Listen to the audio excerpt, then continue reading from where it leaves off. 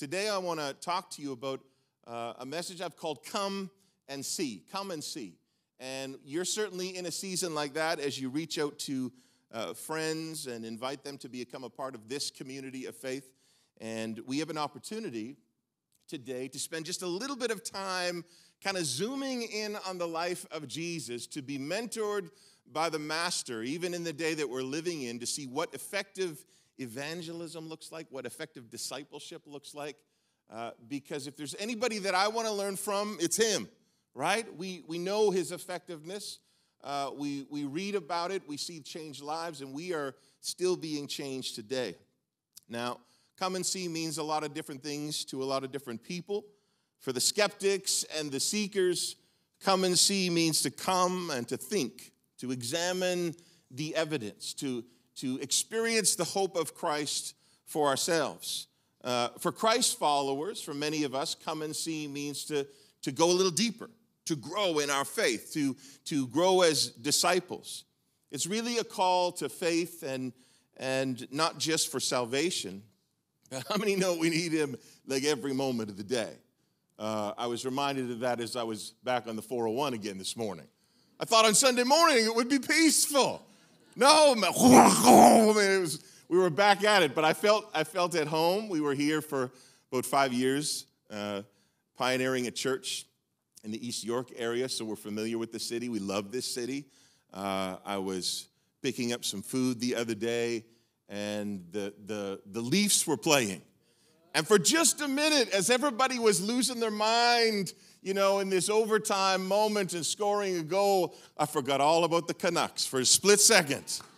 And I was going, yes! And I'm like, what's happening to me? It doesn't take long to slide back in to those old ways. You know, God's called us to the kind of overflowing life, the kind of abundance that can only be found in Him. And if we're open to the Spirit's leading in our lives, I believe that today we can still be changed by the same power that Jesus displayed in his ministry on earth so that you and I can in turn say, Come and see to others that have yet to experience what God is doing. And the best way sometimes to show people what you're talking about, beyond even quoting chapter and verse, and that's important, is to demonstrate the life of Christ within you so that people want to see it working within you. They don't just want to see a, a concept. Just say, oh, you know, watch me on Sunday. That's the day that I love the Lord. That's the day that I'm excited. That's the day I'm singing song. Don't talk to me on Monday. I'm an angry person on Monday, right? We need to see that kind of consistency every day that we live. You know, whenever my wife and I have an opportunity to take a little vacation, a little holiday, and to get some rest, we tend to be the same uh, way in the morning. Like she's very different in the morning than I am, right? She's up with the sun hot coffee in hand. If we're a place where there's water, she wants to see the sunrise, right? Like she wants to experience every moment. I'm going so much, so long every day that when I get on vacation, I just want to relax a little bit. So I tend to kind of sleep in a little bit. And so every time it seems to be the same time uh, and the same moment, all the time repeating itself. Uh, after I wake up, she'll usually tell me, Oh, you've, you couldn't believe the sunrise this morning. It was spectacular. Like, you got to see it. And then I'm like, oh, yeah, okay, well, uh, uh, maybe tomorrow, baby. Maybe tomorrow I'll, I'll get up and have a look. Today I just need a little bit of rest. So the next day comes and I can hear her as I kind of am half awake and half asleep. And I can hear her saying, Get up, get up and come see this. You've got to see this. It's spectacular. And so, like the good husband that I am, I muster up the energy and I sit up in the bed and I'm like, oh yeah, that's fantastic. and then back, back out I go. Now, usually on the third day, and I know that sounds very biblical, but that's, that's not really the reason, but, but on the third day, usually I can hear her again saying, Come on, come and see this. It's even better than it was yesterday. And so I finally I get out of bed, I pull a little chair over by the window, and, and we experience the sunrise together. It's a romantic moment, right? And I'm always glad that I did because it's, it's spectacular. Like it's just, you see the beauty of God's creation as that, that light kind of shimmers on the ocean. It's just spectacular. One time I had the opportunity a number of years ago to travel with a group of pastors to Israel. And we were staying at this place uh, on the Sea of Galilee. And it was incredible just to kind of walk through these areas that we read about. And, and so in the early morning, I was still struggling with jet lag. And so I was waking up at a really odd time. And, uh, but I could hear, Susan wasn't with me on this trip, but I could hear her voice in the back of my mind saying, Get up, come and see this. And so I fight my way in the dark and I look out the window and it's not the greatest view. So I open the door to my room and I find my way up to the roof of the place that I'm staying. And there in the darkness, I'm all alone and I wait and I wait. And then I can see the sun just kind of show itself and there's like a shimmer across the water. And there in that moment, I can see the fishermen, you know, getting their boats ready, getting their nets ready. And it strikes me that, that this is likely a picture of, of what Jesus himself probably saw when he woke up early in the morning to pray. And it was like a little overwhelming because there I am all by myself, kind of tearing up and, and experiencing this moment. And it was a God moment. But I can remember and still hear her voice saying, Some, come and see.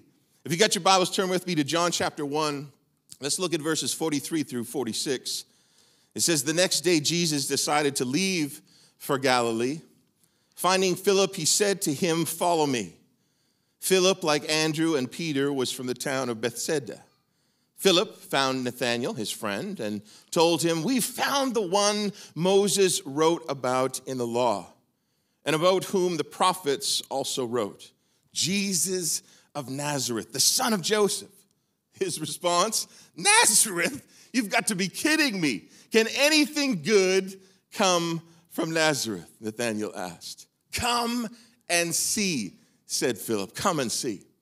Now, the Gospel of John is this wonderful first-hand account of what John and the disciples were experiencing in the moment that they were in.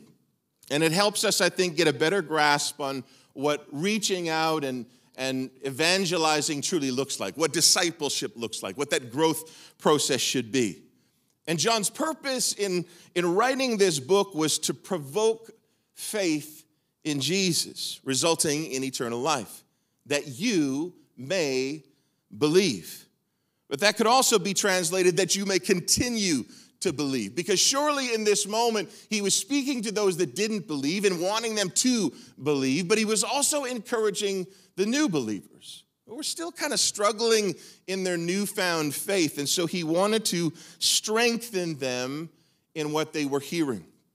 Come and see evangelism was never meant to be just about inviting people to our church, to get people to uh, belong or believe a certain set of, of spiritual laws or principles. It is and always has been about introducing people to the living reality of Jesus. The answer to today's problems, to all the craziness that we're seeing, is still Jesus. He's the same yesterday, today, and forever. So come and see. What does that mean exactly?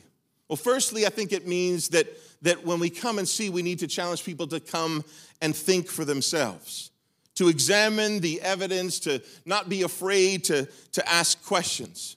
You know, when I first started following Christ, I asked so many questions, I drove people crazy.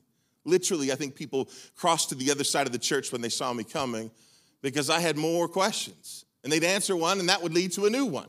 I was just constantly asking questions because I had a spiritual hunger in my heart, but I also wanted to understand. And so, in this moment, when Nathaniel shot back and challenged Philip after he told him about Jesus, he said, Nazareth, can anything good come from that place? Can anything good come from Surrey or, or North York? Can anything good come from those parts of the area that we live in? But you know what? I think it's interesting that Philip didn't get defensive. He didn't rebuke him or try to defend who Jesus was. Instead, he encourages him and he challenges him to come and see for himself. He was engaging him where he was. He was engaging him and encouraging him to, to think about it. You know, I think we all realize that old school religion demands compliance and acceptance and oftentimes discourages questions. I grew up in a very traditional church. I mean, I went because I was dragged there. I didn't have an option. It was something that my family did out of tradition or obligation. And it had less to do with the relationship with Christ and more to do with, with just a, a need to do what was right. But what was missing was, was that life. And oftentimes, religion will push you into that place. But in G- this case, Jesus is inviting them to engage their hearts, to engage their thinking, to ask those kind of questions. You see, when John's disciples started following Jesus, Jesus actually turned around and said, What are you doing? Like, you'd think that would be a given. He, they're following Jesus. But he's like, What are you guys doing? Like, I want you to think about what you're doing. Don't just go along with the crowd. Actually, understand the step that you're taking. In John 1, verses 38 through 39, they said, Rabbi, which means teacher, where are you staying? Now, Jesus responds, Come, he replied, and you will see. Now, he's inviting them. In other words, he was saying, Come and see what I say. Come and see how I, I live. Spend time with me. Spend time and get to know who I am. Jesus wasn't just demanding their obedience and saying, You've got to do what I'm telling you to do. He had just met them. He was saying, Come and walk with me. Come and spend some time with me. You see, obedience to his word follows teaching them truth as disciples. But first, he invites them to come and to think and not to be afraid of doing that. I think they were likely a little nervous, this new teacher, but they trusted, ultimately trusted John. And if John was giving his stamp of approval, then they said, okay, we're going to follow him. You see, they wanted to see if what they were hearing about this man was true for themselves. Now, maybe you're talking to someone today, a friend or a neighbor, about church, about Jesus. Maybe they're like modern day Nathaniels. Maybe some of you are are modern day Nathaniels, and you're here today asking some of those same questions. Maybe you're not entirely convinced, but someone has invited you to come. Now, you likely won't be asking the same question that, that they were in that day, but there's people asking questions today saying, Christianity, like, like how can you believe in, in, in a, a, merciful God when we can see everything that's going on in the world today? How can you, how can you kind of uh, come to grips with all the injustice that we're facing today. But what does Jesus say to you in those moments? Not what religion says, but because religion often gets it wrong. What does Jesus say to you? He's not afraid of your questions, he's not afraid of your wondering. He's got love and compassion. And he makes you feel that you can come and process that with a community of faith. He doesn't say to you what woke spirituality uh, is saying today, which is you just do you. You just do what's, what's good for you and, and, and make your own path. No, Jesus says, come and think. Come and follow me. Come and see for yourselves. Examine the evidence. He's not saying what old religion says, which is, How dare you challenge me? How dare you ask me a question? You just have to believe what I say to you. Listen, I've met people like that, and, and we don't spend too much time together with that kind of attitude. That's not the love of Christ. That's not how we are going to engage this community that you're in today. We've got to encourage them to come, to ask questions, to feel at home. You know, that's why I love our next generation leaders, these young men and women who are leading our students today. You know, my beginnings as Pastor Paul mentioned earlier uh, was in student ministry. And I believe that some of the most effective senior pastors today are the student ministries of, of days gone by. I will forever have a heart for this next generation. And I salute the young men and women who are leading them today and encouraging questions among that group. Because listen, as parents, your example and your faith will forever be a strength and a foundation for your children, but it's not enough. They need to have a faith for themselves. At some point, they will need to make that commitment and they will under, need to understand why they're making it. So when the wind blows and, and the pushback happens, and it will come, they need to be able to stand on a, a sure footing because of what they believe, not just what you believe. And we need to make sure that we're training that generation to do that because they're not going to survive on the faith of their parents. They have to survive and live on the things that they know to be true. Now, we don't have the same liberty today that, that John's disciples did back then. It would be great if we could go over to Jesus' house this afternoon, right? And, and spend some time, have lunch together. Wouldn't that be fantastic? And, and back in that day, they could find Jesus physically and spend some time with him. And Jesus could say, You know what? Come with me. Come and see where I'm staying. Come and let's break bread together. But we can't do that. But we can have a, a firsthand account like the book of John where he's not just speaking about legend, he's not just talking about inspirational truth. He's talking about this is what I saw, this is the day I saw it, this is how it happened. This was his first hand account. And now you and I have the opportunity to say, come and see, not just what is being read in Scripture, but what is happening in our lives. Never, ever underestimate the value and the strength of your story. Your testimony, incredibly powerful. I can never tell your story like you can tell your story. And if you want people to lean forward in their seat and listen to you and engage with what they're saying, then tell them what happened to you. Tell them how God has moved within you. Because in my life, that's how some of those, that's how I moved from some of the questioning to the experience that I had with Christ was by seeing him at work in the lives of other pe- people. Because listen, when we read it, it's either all true or none of it's true. And in the end, it's a leap of faith. You need to step into it. So John's saying, Come and see, read my account, come and experience what I have experienced. The second thing that come and see means is to come and follow. You see, our lives are changed during the, the process of the following. You understand what I'm saying? It's during that following time that we learn more about ourselves, that we learn more about God. We begin to recognize His voice when He's speaking to us. And the word come simply means to, to move from where you're at to this new place. But you've got to make a change. You've got to make a decision to step out. And the reason Jesus says, come is because he wants them to, to follow him. He doesn't just want them to believe, he wants them to step out, to move in the right direction. So when you make Sunday an important part of your week when it comes to your faith and your understanding of who God is, that's a part of that following, to engage by taking a step for the development of your faith. As a matter of fact, the first time that John the Baptist says to them in verse uh, 29, he says, Look, it's the Lamb of God. Like, You'd think that, that they'd listen to their teacher and be blown away by that. But the Bible says that it wasn't until the next day, in verse 36 through 37, that he had to say it again. Look, it's the Lamb of God. I've already said this to you, but you guys need to understand what I'm saying. You see, he was patient with them.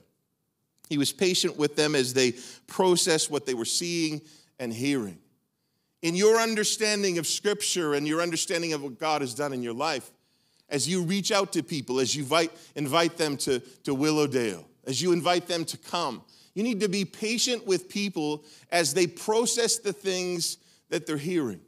You're in the most wonderful place this morning because you're surrounded by people who are processing what we're hearing about Jesus, what we're reading in Scripture, what we're being taught together through small groups and connections, we can, we can walk through those moments and grow together.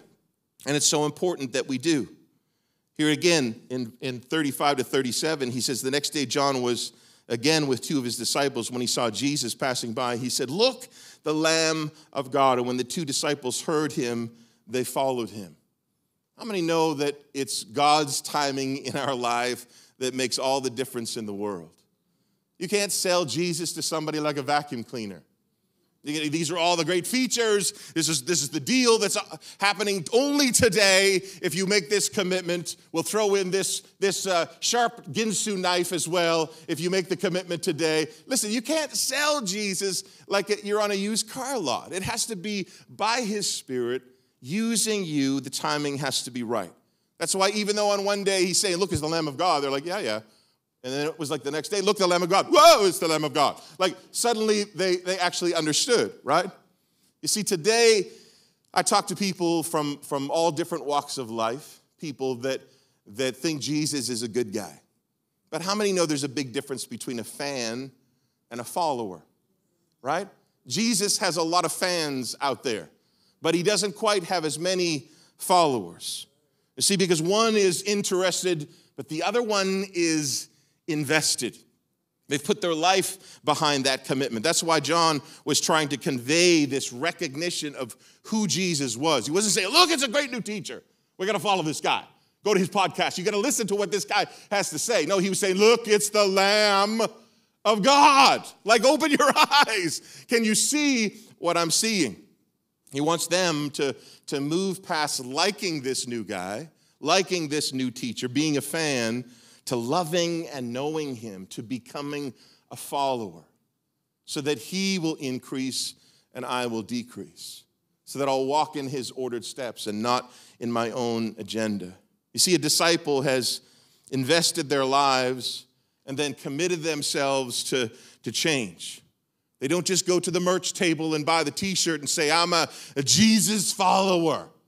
I come and I saw and I bought the t shirt. No, he's not. He's saying, don't just be a fan, you need to be invested and be a follower. John 1, verse 51, it says, Very truly I tell you, or literally, even better translated, Amen and Amen. Now, interestingly enough, the, the word amen here was an Aramaic word that means this is true. So when you say amen, you're basically saying this is true, right? And every historian, every commentator, everyone who knew ancient culture recognizes the unique use of this word here in Scripture. Amen was used to affirm and approve an account and, and accredit the words that were being spoken to another. Like someone would be preaching in the synagogue and saying good things, and then the elders would stand up at some point when they were done and they would say, Amen, right? It was like they were saying, We approve of this message. Based on our incredible knowledge and all our studying, we verify that what this person has said is true. And at some point, maybe the people would also stand up in unison say, Amen. And they would agree as well. Why? Again, it was their way of saying that they agree with the truth that was being spoken. But here's the eternally powerful thing that Jesus was saying here in verse 51. Because he wasn't saying amen at the end of what he said, he started by saying amen. And he said it twice, in case you missed it the first time. Amen, amen. And then he spoke. You see, that's very different. In the Old King James, it's usually translated verily, verily, right? But it's the same thing. But people still miss the significance here. Jesus, in this moment, is basically saying, Listen, I'm taking away your right to decide whether or not what I'm saying is true or something that you like or follow. It's still truth. Amen and amen. And then he says it. You know it's good when Jesus is amen in himself. And he's not waiting until he's done, he's saying it even before he begins to speak. Amen. Amen. Listen to me. When you choose to believe what I'm saying, uh, you will know and you will change because of it. And whether or not your opinion says you like it or you don't, it doesn't change its truth. Listen, if you want to come and see and believe, all you have to do is to accept that the Bible is re- reliable reporting, right? That, that this account is credible. But if you want to know Jesus in an intimate and a personal way, you've got to come and follow him and believe that what the Word of God says is true, whether you like it or not. How many have read something in the scripture before and you're like, I don't know, like, like is I got to forgive my enemy, this guy who has just treated me horribly. I got to let that person go. I, I don't know. You know, you're lined up for a, for a concert and, and, and the Lord says, you know, the last shall be first. Well, I don't claim that scripture today. I want to be at the front of the line, not at the back of the line. Sometimes it's a bit of an upside down kingdom when you read in scripture. But Jesus sets the pace by saying, This is truly the way, right? And when we refuse to accept the authority of Scripture, we're actually saying that we're going to follow our own heart instead of following Jesus. We can't pick and choose the things we like about Scripture, like we're going to a buffet. I love a little bit of that, a little bit of mercy, oh, oh a whole lot of love with some extra, you know, sauce on that. But that forgiveness, oh, that's like the, the broccoli. We're going to leave that over to the side. No, no, thank you. You sure you? Want? No, no, I'm good. Thank you. Right? How about some of these carrots? No, no, unless they're dipped in like candy. No, thank you. Right? Oftentimes people treat scripture like that. They're like, yeah, I like this and I like that, but I don't like this and I don't like that. See, we need to be ready throughout the reading of scripture to walk in the truth because it's the truth. And then we need to be prepared to meet people and engage them where they're at. So don't be shocked when you're talking to your friends or your coworkers or your neighbors and they're saying things that you're not accustomed to hearing. Or maybe they're saying things that, that are driven by fear. Don't try to rebuke them, love them. Meet them where they're at and lead them to a place where you can say, Come and see the Jesus that has changed me because I used to be exactly where you were. When Jesus met the, the, the woman at the well, he didn't chastise her, he didn't get into correcting her. He met her where she was. She came for one thing and left with a new life and a new, a new flow of water that she had never counted on or expected. But we need to be ready to meet people where they are and then walk with them towards Jesus, to engage them in that process. You know, I remember shortly after 9 11, uh, after the world was reeling, people were, like many of you, trying to process what we had just seen on television. And this was happening live. This wasn't a, a Hollywood fiction, this was real. And so the next day, I was out in my yard mowing the front lawn. And I looked back at the house and I could see my wife standing in the door and she was like motioning towards me. And I'm like, I'm just, I'm, I'm mowing the grass, right? She's like, come here. So I turned it off and I walked over and she said, she, she kind of looked, she said, uh, look at our neighbor across the street. I said, what's wrong? She said, I don't know. She's, stand, she's been standing in her doorway for the last hour while you mowed the lawn, and she's got like a glazed look and she's just staring at our house. I don't know what's going on. I don't know if she's okay. Maybe you should go talk to her. So I walked across the street, and, and I knew her. We, she knew that, that I was a pastor in a church in the area, and I had all kinds of people in our little cul de sac that knew what I did for a living. And most of them were not church going, Christ following people. And I love having friends that don't know Jesus because it's an opportunity for the light to shine, right? And so I went over to her and I said, I, I called her name because it was like she was like, like looking like, like lost in a moment. And I said, Are you okay? And she just started to convulse and cry. And she said, No, I, am not okay. I'm, I am terrified. Like I am fearful for, for, for my life, for my grandchildren. If this can happen just randomly out of nowhere, planes and buildings, like what if something just falls from the sky and crushes my house? This is horrible. I'm, I, I, I can hardly move right now. You see, it wasn't the time to, to whip out my Bible and turn to a particular scripture and lead her in a Bible study. It was a moment led by the Holy Spirit to say, Hey, listen, you, you want to come over with Susan and I and spend some time with us? Yes, I really like that. So I said, Well, come and follow me. So she came over. She came over and sat in our living room and she just wept. And I said, She said, How, how do you deal with what has just taken place? And I said, This is, this is horrible. This is incredibly sad, the, the thing that we've just seen, especially knowing that so many lives have been affected. But I said, This is how we process that fear, because fear is very real. But there's a peace that passes all the understanding. You know, sometimes you can quote chapter and verse without giving them the chapter and verse. You can say, There's a peace that passes all understanding, that, that it doesn't make sense, but it anchors me. And she says, Well, what is that? And I said, It's all about knowing Jesus.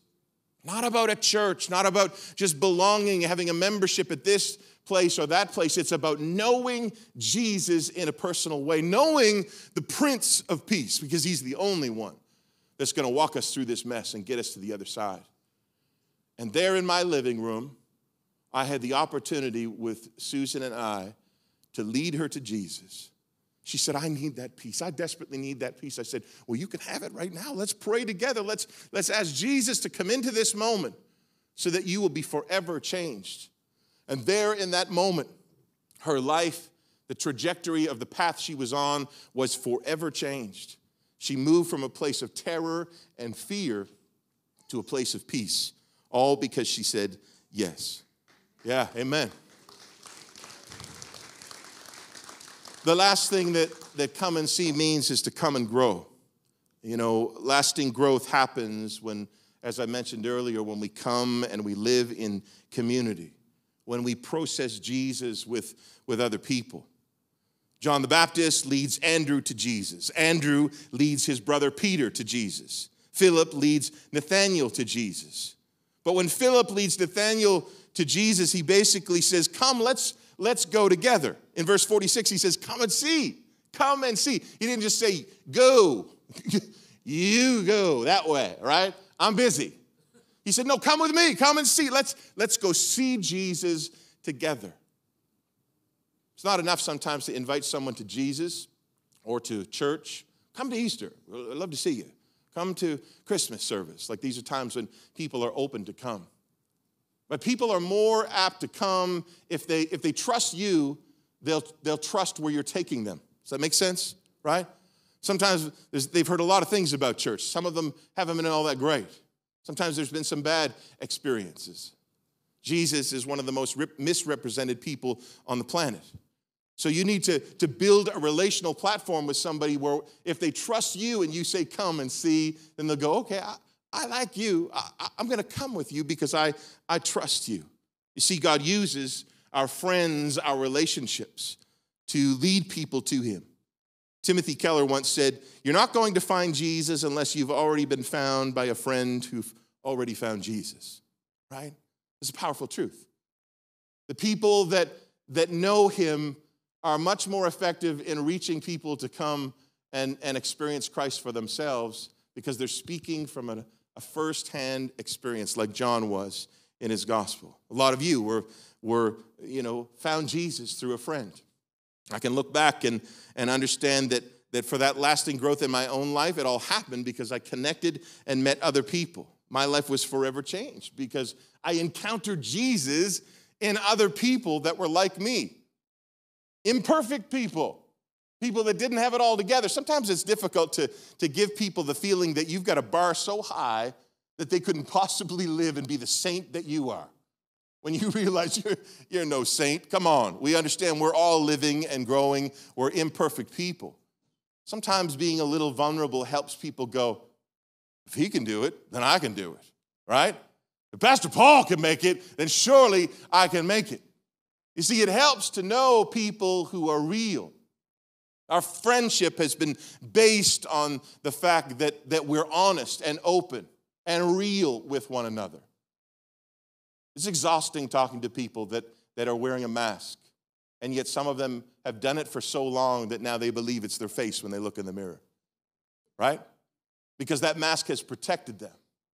It's kept them from the hurt. The, the you know, like I can't, I talk to people all the time. They say, I, I don't know. I don't, don't know if I want to come to church because I've been hurt by people.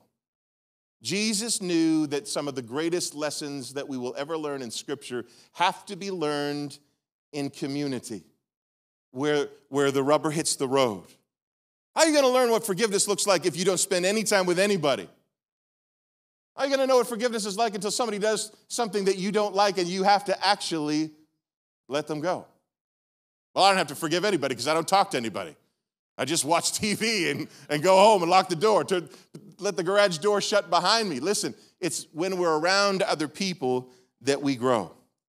Here at Willowdale Life, much like our church back in Surrey, BC, the fastest way to grow is to connect yourself to a small group. Get involved with, with living and experiencing life with other people. Spend some time with the dream team. Give your time, give your talent. Commit to, to other people that are living on purpose, that are living with a cause. And you'll look back after a couple of years and go, I'm not the same person that I used to be. I've grown because I've spent time with, with Jesus in these other people. I need you, and you need me. So let's be patient with others like John was with his disciples, but let's also be full of courage and confidence like Philip was when he invited Nathanael to come and see. And let's not be afraid of that. Remember, your story can be one of the most life changing things if it's used in the moments when the Holy Spirit leads you. Learn to listen to his voice. We need to be led by the Holy Spirit like never before. You need to listen because he's trying to save you a whole lot of grief. How many are married here today? Who's married? Lift up your head nice and high. Listen, if, if you are married to somebody, you know the challenges of listening, right? Like many times in my life, you know, the Holy Spirit will prompt me and I will either listen or not. And if I don't, it's to my own peril. There's been times with, with, with Susan and I where sometimes you're in a disagreement and you start, you get on this track where you're like, I'm gonna win. I'm gonna close this down. I'm gonna win. And then I can hear myself saying, Oh, I got a zinger. I'm gonna say this. And I can hear the Holy Spirit saying, Don't say that. And I'm like, This is so good. Like, this is gonna shut it down. This is gonna be, Don't say that. I'm like, Come on, just this once. Don't say it. I'm like, and I say, and then it's like World War III, right? But the Holy Spirit was, was already guiding me and leading me. See, the issue is not, is God still talking, but are we listening? We have to listen. To be led by the Holy Spirit is to, to be able to be obedient to what He tells you to do. Sometimes it's not easy. Sometimes it means not winning that fight. Sometimes it means saying, I'm sorry. I'm, I'm sorry, right? Start to practice that. You're going to say that a few times in the course of your lifetime. Let's learn to listen to the Holy Spirit and let's seize the moment that we're in and say to this neighborhood and this city, come and see what God is doing. Let's pray. Father, we thank you today for the power of your word. We thank you for what you're doing in and through us. Today, I pray for every person in this auditorium. Understanding that there are people here that, that are, have come to a place in their life where they hear your voice. They hear you drawing them, Holy Spirit, to come and see what you want for their lives. And in the stillness of this moment, as every head is bowed and every eye is closed, I want to give you an opportunity to, to step out. I don't mean from your seat to come to the front. I'm not here to embarrass you today, but I want you to make a decision in your life. And so, as everybody is, is in this moment of, of just reverence and honoring those around them, I want to ask if there's those of you that, that say, Pastor Steve, I, I need to know Jesus like you're talking about. Or I need to reconnect with him in a way that, that I used to know but have kind of veered away from. If that's you this morning, then everything about this service, everything about my, my time here in this city has been for you in this moment to experience the power of God in your life. And if that's you, all over this auditorium, I want you to slip up your hand nice and high and say, Pray for me, Pastor Steve. Include me in that prayer because today I want His will to be done and not my own. If that's you, lift it up nice and high. I want to include you in this prayer. Yeah, thank you. That's awesome. Thank you, sir. That's great. Yeah, up in the back. Thank you. Yeah, over here. Awesome. Yep. That's great. I see you too. Up in the back left. Anybody else? I don't want to rush through this moment. This is eternal decisions that are being made. Thank you. That's so great. All right, you can drop your hands. Now pray this prayer with me and, and Willowdale, would you would you pray it with those that are praying it perhaps for the first time? Let's let them know that we're standing with them today by praying this simple prayer together. Lord Jesus, I thank you for what you did on Calvary's cross. I thank you that you did it for me. Come into my heart. Forgive me of my sin. Be my Lord and Savior. And help me to live for you all the days of my life. In Jesus' name, amen. Father, I also pray for everyone else who's prayed that prayer many years ago, perhaps, but has found themselves through the cares of life being pulled away and distracted and pulled in a million different directions. Today, I want to welcome you home. I want to pray that today you'd, you come back to center yourself on Him. That, that you hear His voice saying, Come and see. Come and experience the goodness that I'm promising you. I pray for you today that you'd make that commitment to say that this day has been designed by God for me to return to that commitment that I've made, to put roots down in, in, in a community that is doing all that you've called them to do, to, to reach out to a city with a come and see love that is based on knowing you. Lord, strengthen them, strengthen their commitment to you as we continue to grow together. In Jesus' name we pray. Amen. God bless you.